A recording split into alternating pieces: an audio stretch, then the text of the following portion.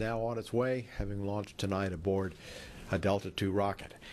Here to talk about the spacecraft, how the spacecraft is doing, and about our mission upcoming is Ralph Basilio, the OCO2 project manager from the Jet Propulsion Laboratory, JPL.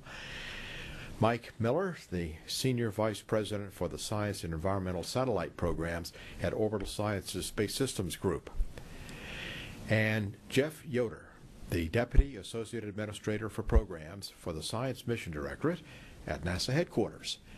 And we'll begin first with Ralph Basilio. Right, Ralph? Hi, George. How you doing? Very happy launch. Uh, yeah, I, it's uh, it's very difficult to put this in words. Um, a couple of days ago, when I was here doing the uh, pre-launch press conference, I mentioned to a lot of you that um, we wanted an opportunity to finally complete some unfinished business, you know, with the loss of the original OCO mission, and we've taken the first uh, step in that direction. I'd like to uh, thank uh, the Launch Services Program uh, at NASA's Kennedy Space Center, as well as their contractor, United Launch Alliance uh, for basically providing what I would consider a perfect ride into space. I only had one requirement, and that was basically a safe, reliable into space, and uh, they delivered on their promise. So I'd just like to thank uh, those organizations for doing what they said they were going to be able to do. I am happy to report uh, that from an initial health check perspective of the observatory, that we do indeed have a healthy observatory. Um, we separated, or the observatory separated from the launch vehicle's second stage about 56 minutes uh, after the launch itself. And uh, we had great film footage, real time film footage um, from a forward facing camera on the launch vehicle's second stage. We saw the observatory separating and basically moving uh, towards the sun. And uh, we could actually see that the tip-off rates, or basically the rotation rates on the observatory, were much less than was uh, predicted from a worst-case perspective. That gave us a lot of confidence that the solar arrays were going to deploy on time, and that we would have a power-positive state. So I am pleased to report uh, this morning, uh, with our initial health check, that we can we have established communications. Uh, with what we call the Space Network, uh, or TDRS, the Tracking Data Relay Satellite System two-way communications. We get telemetry as well as the command capability. And we have established uh, same or similar communications with the uh, Alaska Satellite Facility. Um, so we have ground communications as well as uh, spaceborne communications. All of the uh, spacecraft subsystems that are turned on uh, have been turned on. all appear to be nominal. The solar arrays uh, did deploy, and we are power positive, the observatory. And uh, we're now on our way to basically completing the rest of the spacecraft checkout process. And we'd like to be able to do that in the next uh, week or two so that we can begin moving the observatory into its operational orbit uh, basically leading a formation of Earth observing satellites uh, that's operating in space right now. It's a loose formation uh, called the Afternoon Constellation, and sometimes we refer to that as the A Train constellation. So uh, beware A Train. We're, we're coming on up there. It's gonna be it's gonna be great. Uh, it, it is a beautiful morning. Thanks, George. Thank you, Ralph. And now to Mike Miller from Orbital Sciences. Mike. Thank you, George. Uh, at Orbital, we're really very, very proud to be part of this team. Uh, I'm one of the people that have been involved with the OCO program since pretty much the beginning and was one of those people devastated with the loss of the first OCO mission. In those days, I was in the control center and was one of the, uh, the people to recognize how badly uh, we all felt, and you know certainly at Orbital we felt awful about this uh, the situation. But those of us that were working on, on working on the spacecraft side we're truly devastated uh, after putting in many years of our lives. You know, I look out in the audience and I see Dave Crisp and I see others that I know, you know, really started these programs even before I did. And the devastation that we all felt, uh, it was very much like losing a, uh, a close family friend or member. Um, you know, so that was really very Im important for us. So we're very happy to see this, uh, this new day, this uh, still dark morning, but uh, bright for all of us who started uh, yesterday evening on console and uh, really went through a very smooth countdown today. So again, like like Ralph said, I really want to thank ULA for an excellent ride, for a very smooth countdown today. We had no spacecraft uh, issues through our uh, processing today, and again, as Ralph said, we had very uh, very quick. Um, uh, confirmation that everything was working very smoothly uh, very soon after we uh, we separated from the launch vehicle. So we're very happy with that. We have our Mission Operations Control Center in Dulles, Virginia. That's where all of our team are right now, taking a look at the telemetry from the spacecraft, and they're actually taking a look, uh, as Ralph said, both from the uh, space network, uh, net, space network through TDRS, but also the uh, ground network and we've we've verified everything actually a little early on our schedule so far, so we're very happy about that. Um, as Ralph mentioned, we go through roughly a, a, week to two weeks or so of spacecraft checkout, and then go through roughly a month or so of uh, moving into this afternoon train, or the A train, as, as Ralph mentioned. And then after that, we go through instrument checkout before we actually start taking uh, true science. A lot of that time is dedicated to doing a uh, outgassing of the instrument to make sure everything is completely safe before it is turned on. But we do have the opportunity, actually very early, even today, to turn on the instrument power and to, uh, to do some things to make sure that it is in a, a safe state from a uh, heater turn-on perspective and that type of thing. So again, with that, uh, you know, we're very happy at Orbital to have uh, been a partner with JPL uh, from the beginning on this, and very happy to uh, have this success today. Thank you, Mike. And now to Jeff Yoder, the Deputy Associate Administrator for Programs for the Science Mission Directorate at NASA headquarters. Jeff. Thanks, George. You know, today really is a great day for NASA and, and the nation you know, seldom do we get a second chance to be able to, uh, you know, do a mission like this. But because of the importance uh, of the mission to the nation, we've been given this second chance to do uh, the OCO2 mission that uh, my colleagues here have described. You know, it's a it's a tremendous team effort, both within NASA, our contractor family, our uh, our, our, foreign partners, our uh, you know partners here within within the states also. And so I just want to take a little bit of time just to just to recognize and thank the uh, the scientists, the engineers, the administrative, uh, our admin folks that helped get us, uh, you know, e even out to the, you know, to this uh, great launch today that, that we're doing our travel. And also the family members who really sacrificed a lot to allow the engineers and scientists uh, to really do this tremendous job. So uh, again, the initial checkouts of the spacecraft, and we'll hear more of that uh, a, a, little bit later. We couldn't be more uh, more proud today of the accomplishments of the of the entire team. George. Thank you, Jeff. We're ready now to take questions. If you have uh, some here in the audience, and you can also, by going online, use pound Ask NASA. And uh, we'll start uh, here in the room if there are any questions uh, here in the front. Yes, right here. Eva Blaisdell, Eva Blaisdell, Express Wieczorny. I am uh, privileged and honored to be here and truly, truly uh, full of joy. Um, and we shared moments yesterday with you and, of course, today. It was very emotional listening to you count down, and I am leading to a question, if I may. Um, my question on behalf of the international uh, readers and viewers is share with us your personal feelings when you see clock ticking 20 seconds 10 seconds 5 seconds 2 seconds give us an insight into your heart and soul and tell us how you felt and then I have a second question. You mentioned nation, uh, pr uh, being proud, and this is a big day for the American nation, and it indeed is. But I look at what you've done today as a big international accomplishment on behalf of the mankind, because this is about climate change. So if you could uh, perhaps talk a little bit about international leadership of what you've accomplished today. Thank you. So, uh, how about if uh, Mike Miller and I addressed the emotional aspect of the uh, the launch itself, uh, since he and I again were both on the original OCO mission, and we'd like to give it to Mr. Jeff Yoder as far as the uh, uh, what the international community can benefit. So, Mike, if I may, I'll, I'll start. Um, so I started on the original OCO mission um, back in 2003. So it's been about 11 years for me.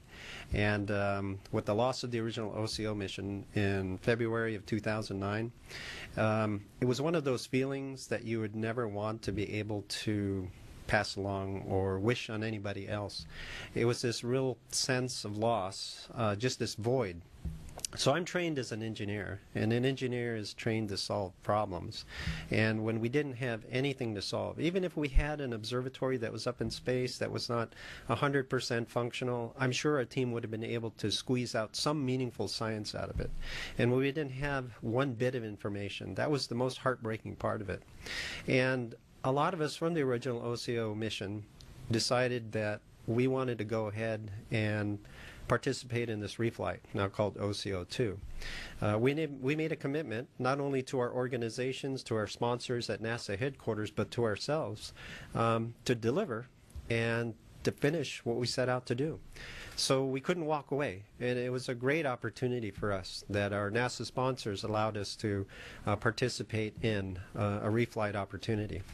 And to directly answer your question, we were on station uh, before the countdown about uh, five hours uh, prior to the launch. And uh, so it wasn't just in the several minutes or several seconds right before the launch. It was kind of a buildup of emotion. A lot of us felt uh, excitement, this opportunity to, again, complete some unfinished business. But from a personal perspective, as we got closer to launch, um, you know, I could feel my, every heart beat. And uh, when we got down to about um, 15 minutes prior to the launch itself, um, we knew that everything was out of our hands. That that countdown was going to go ahead, and that rocket was going to lift off. And um, it, you know, it wasn't a, a, great shot because of the foggy conditions, um, but when that rocket did leave the launch pad, um, it, it was a tremendous opportunity to be able to say, "My gosh, you know, this is the next step in an important journey." not just for me as an individual or for the people that I came with from the original OCO mission, but for all of us that live on this planet today and for future generations, you know, our children, our grandchildren. This mission is going to deliver so much information, and um, I just can't wait to work with the scientists and be able to complete that aspect uh, of the mission to be able to deliver and um, deliver on the promises that we made to the American public and to the rest of the world. Mike? Yeah, I'd like to second the, the concept of the emotion associated with this. I tried to relay this the other day during the uh, the public briefing for a lot of the visitors that were here. As a member of the team that started, again, back in 2003, about the same time that Ralph did, you put a tremendous amount of time and investment into developing one of these spacecraft. And as a parent, you know, maybe a way to relate to this is, you know, you raise children. I have, actually have three children and two grandchildren. You raise children and you do everything you can to have them be prepared for life, and then you send them off. Um, in a way, you send them into launch, or you launch them into space. You know, you launch them out to be their themselves. Mm-hmm. And uh, the real issue I think all of us had was the sudden termination with the first OCO. Here we were ready to start collecting data, ready to start to do the things that we're doing today, you know, to be able to see the spacecraft be successful. And it was so devastating to all of us. It, it took many of us months to get over the impact. And even today, we still feel for the, those days, are overjoyed with the success we're having right now but still look back to uh, you know the unfinished business that we were trying to uh, to finish today. So I know that's what that's the way Ralph talks about it is the unfinished business that we need to go forward with, and we all feel exactly the same way. And I'd like to answer the, or follow on a little bit with that. The you know what's the heartbeat rate? You know, ten minutes to. Uh, one of the things that uh, we have a tremendous amount of faith in our in our team. Ralph and the others that uh, that really built this system over over the years. Uh, but at the same time, as the countdown starts starts going, you know, five five hours out, four hours out, start getting down to one hour out. you know, from a management standpoint, our hearts start throbbing a bit because we know that, uh, you know, this is a, uh, I don't want to say it's risky, but this is a difficult, uh, difficult challenge. As yesterday, uh, we had to scrub a launch because of, uh, you know, some items. So as the countdown goes, we know what key events are supposed to be happening, and it's just kind of holding our breath until that triggers across. Something as we thought was as simple as the water turning on turned out to not be simple. So today, when we went through, we applauded when the water went across. We've not done that before, at least I've not. And so, just knowing every step, you're almost holding your breath, and you can feel the heart rate going up more and more. I, again, we have a you know tremendous team that, that was pulling this off, but again, we we knew the steps, so uh, it was. Every mission is, is really thrilling because you know the key steps. I would mention the international. Of course, this this uh, this mission will help humankind, and so it's not just uh, U.S. or it's it, it's a humankind uh, mission. And so I won't go into the science aspects of it. Uh, I believe those have been covered in other science briefings and stuff. But this this uh, in, in teaming up information uh, from our uh, our Japanese colleagues. Of course, the original OCO was going to launch roughly the same time as uh, one of our Japanese uh, uh, missions, or the Jap- our colleagues. And so, being able to build off of that information to make the the mission we have today even a better mission than than was planned, again, is just it's a tremendous. Uh, I, I couldn't be more proud and excited for what we will accomplish for humankind with this information. Additional questions here? Have, um, have we got any on, tw- on Twitter? We do. Okay, all We do have some questions from social media, both from, uh, oh, all from Twitter so far, and we're also taking them in the Ustream chat. So up first, uh, Sear Sector asks, how close to real time can OCO2 collect and relay its data once it's fully up and running? Um, okay, so I, I can I can answer that question. um, I can't think straight. Right. So um, as Mike pointed out, we have a series of activities that we need to perform in order for us to declare the observatory operational. So it'll be a, a number of weeks, maybe a month or two before we do that. And uh, nominal operations for us. Uh, basically consist of um, every 16 days transitioning from what we call nadir mode operations, where the instrument is point, pointed directly down at the Earth, to uh, what we call glint mode operations. And glint mode operations is needed to get um, meaningful measurements over the oceans. And uh, so every 16 days we go from nadir mode and then back to uh, glint mode, and then uh, we continue that process. Um, we've made a commitment to our NASA sponsors to be able to start producing data um, in early calendar year 2015. And uh, we're going to do everything that we can in order to expedite that process. But our number one priority is to make sure that that space-based set of measurements uh, is validated with ground truth data. So we have a comprehensive validation program. Now, once the data starts flowing, you know, as a pipeline, uh, we expect that it'll be uh, maybe on the order of a couple weeks uh, from the time that the data is actually taken uh, by the spacecraft to the time that the data is actually available to, to the public. It's on that order, um, but uh, again, we're going to see what we can do to uh, reduce the data latency, if you will, and make this information available to the public as soon as possible, um, as soon as you know we can make sure that the data is of sufficient quality. Now, you mentioned uh, nadir mode and glint mode. Yes. To follow on that, Tyler Waldrop asks, what type of orbit will OCO2 be in for the science gathering portion of the mission? And will science gathering be global or regional? Okay, uh, that's actually a set of excellent questions, uh, Tyler. Um, so, the OCO2 or uh, observatory is going to be operating what we call a, a polar orbit.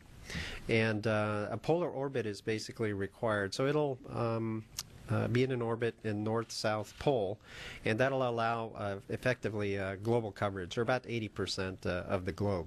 Uh, so in a 16-day nadir or glint mode operational cycle, uh, we'll collect uh, 233 orbits worth of data. And uh, so, this operating scheme that we have is more of a, um, a global uh, look at the Earth uh, instead of a regional look at the Earth. Excellent. All right. Uh, on to N. Karazi, who asks, "What's the relative size of the OCO spacecraft to the International Space Station?" Um, it's probably an ant walking around on a loaf of bread or something. Uh, so actually, that that's an excellent question, and um, so we've been asked that question before about the size of the observatory. I think maybe Mike should handle this one. Sure, I'll, I'll, I'll Yeah. take that one. Yeah.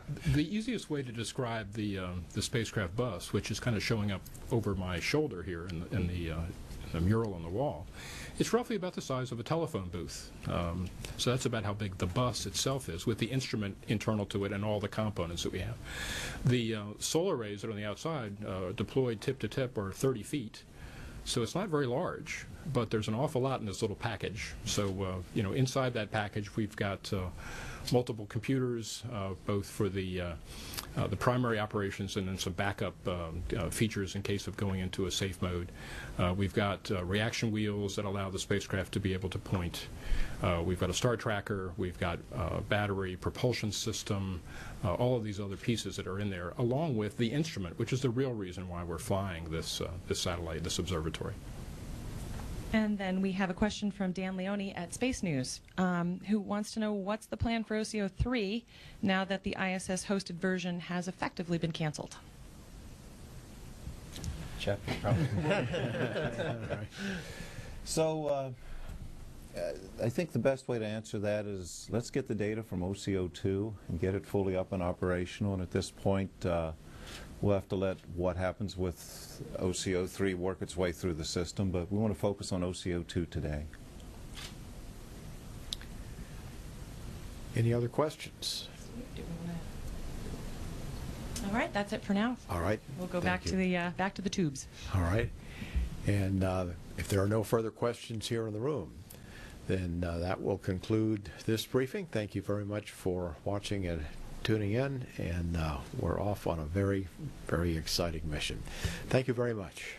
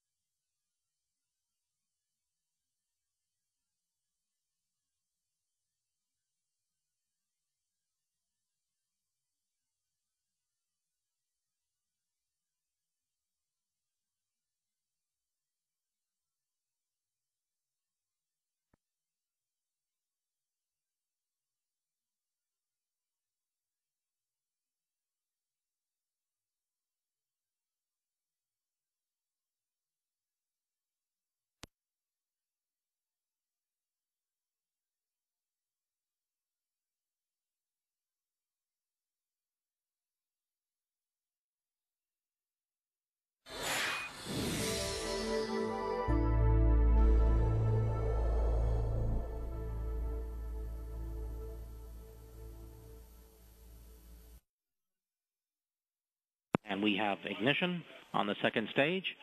Chamber pressure is good. Engine control is good. And we have SECO.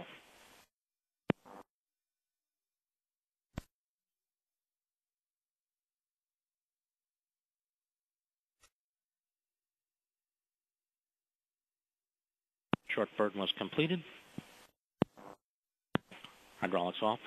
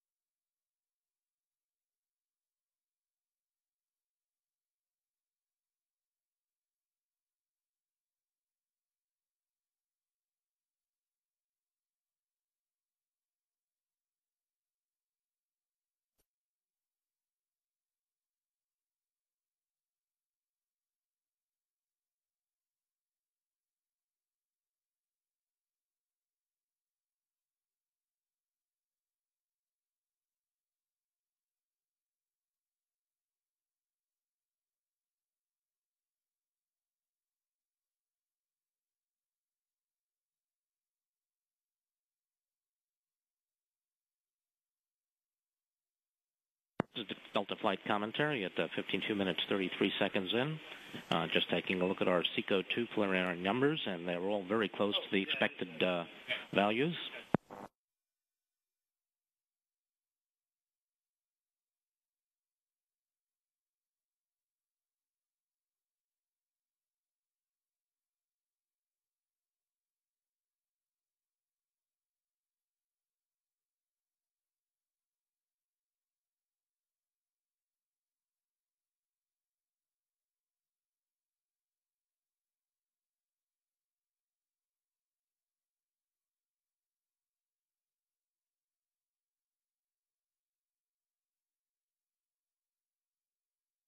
About three minutes now until uh, spacecraft separation.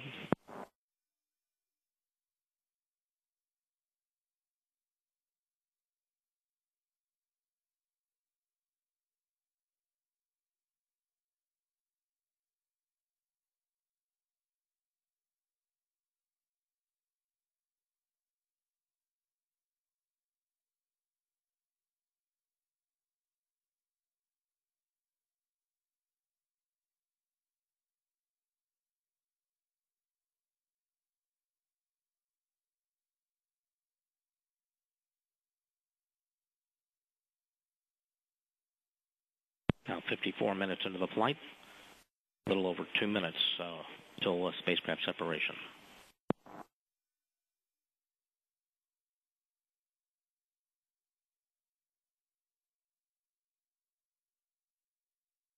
Our video is uh, coming from the Hartebeesthoek uh, ground station, being relayed here from the onboard camera.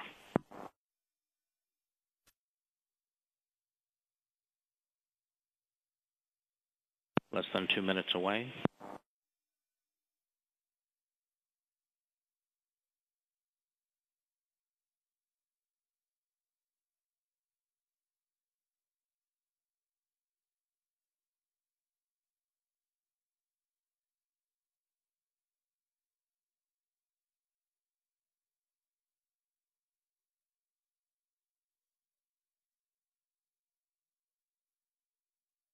Now 55 minutes into the flight.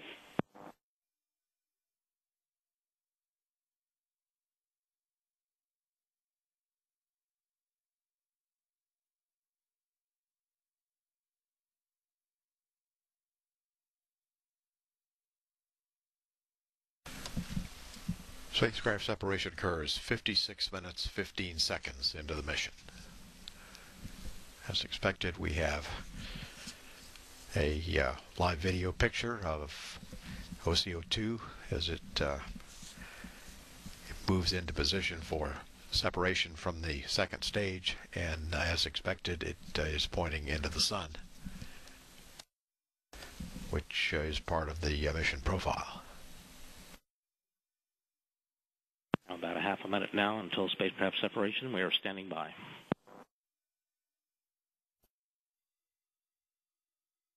Now 56 minutes in.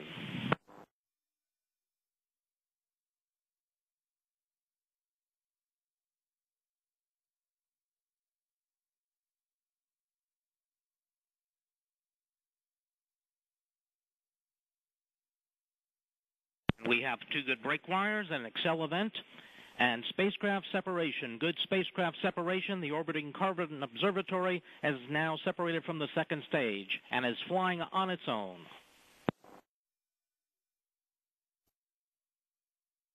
You